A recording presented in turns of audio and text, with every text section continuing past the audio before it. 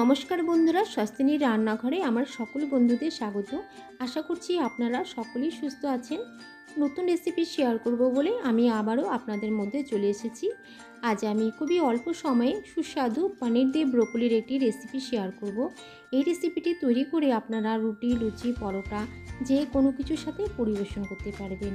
তাই বন্ধুরা, দেরি না করে চলুন তাহলে দেখে নিই কীভাবে তৈরি করছি আজকে রেসিপি